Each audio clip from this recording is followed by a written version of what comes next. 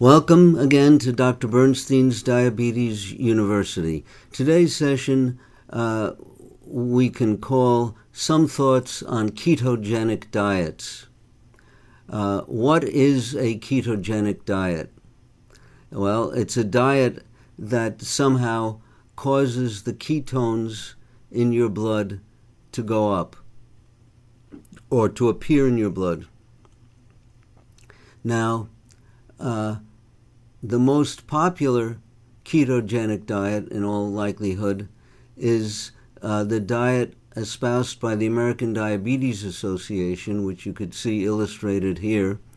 And this is ketogenic because it causes very high blood sugars, uh, requires a lot of insulin uh, to cover uh, the uh, carbohydrate or glucose in the meal and um, if you don't take these huge amounts of insulin, which can make you fat, your blood sugar can go extremely high, and uh, the elevation of blood sugar indirectly uh, brings about the metabolism of fat and severe dehydration.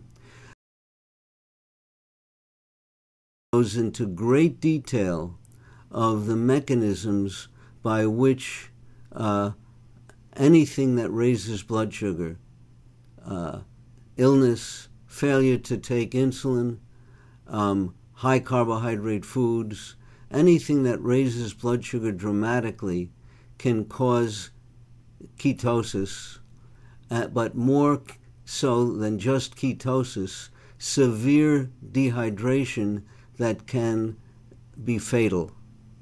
So, the most common ketogenic diet is the ADA diet, and it's not uh, fatal because of the ketones uh, as much as because of the dehydration and very high blood sugars that accompany it.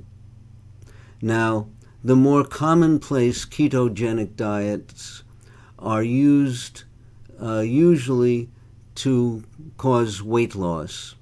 You'll see how the metabolism of fat burning fat or oxidizing fatty acids uh, produces uh, substances called ketones. And if you're trying to lose weight and are doing so successfully so that you're destroying fat, uh, you're bound to show ketones in your blood and uh, are likely to find it in your urine. That's the easiest way to find it. By the way, many people are fixated on ketogenic diets as if there's something magical or super healthy about them. Uh, they're not harmful and they're not healthy. Our ancestors uh, had both, in effect, because in, during periods of starvation, they lost weight, burned fat, and produced ketones.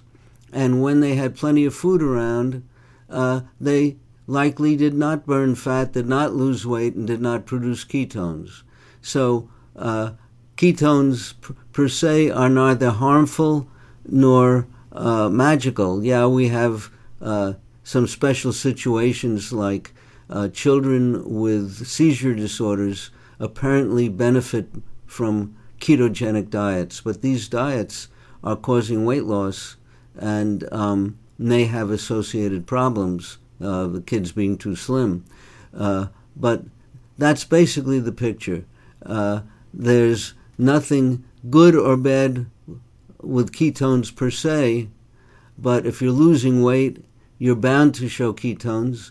If you're pregnant and um, uh, don't eat all night, you're likely to show ketones in the morning, and these are not harmful to the fetus because it happens in virtually every pregnancy.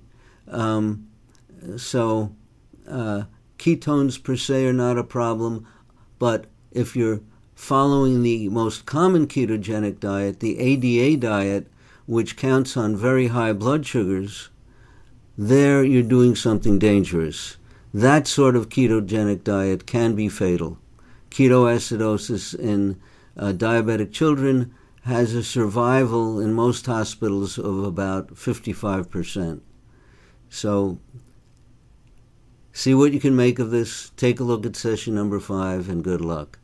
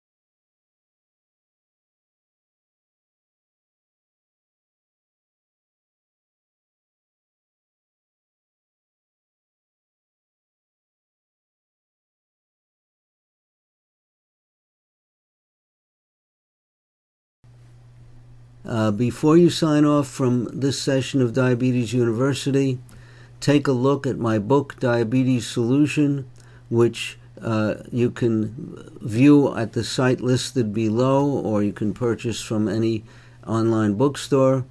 Also, visit my monthly seminars, teleseminars. Uh, the site for getting these free seminars is listed below.